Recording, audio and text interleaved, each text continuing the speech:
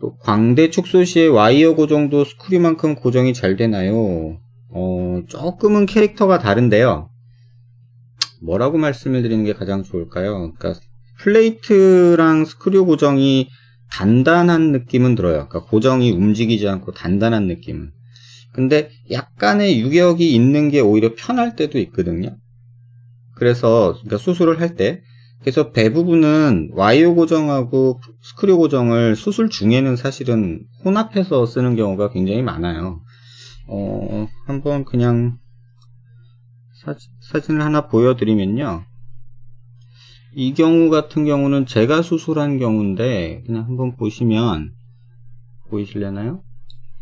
여기 잘 보시면 밑에는 와이어 고정이 되어 있고요. 이쪽 위쪽은 플레이트 고정이 되어 있어요. 그래서 수술할 때는 그 두 가지를 조금 혼용하는 경향이 있어요.